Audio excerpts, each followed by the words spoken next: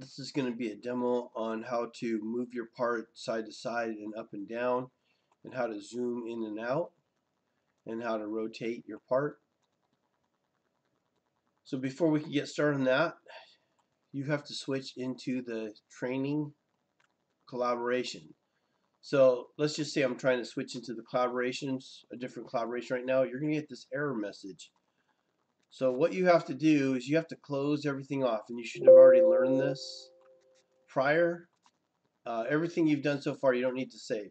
You can't switch collaborations if I don't see this on my screen. So make sure that this is visible on the screen or that everything has been saved. This will allow you to switch into the training collaboration, which I can't even pick on because I can't even get down there but what you're going to do is type in DKP, which happens to be my initials, up here in the top in the search. You should see 45 results. I'm going to find this one here, three-wheel car. Just kind of like this one. There's several you can pick from. You can scroll up and down.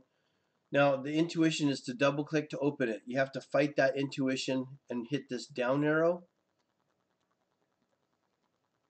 and then hit open. So you hit the down arrow and then I'm going to hit not open with but open. You'll get the opening progression window here in the bottom right corner. And that's how you open up the model. Next step will be to zoom and pan.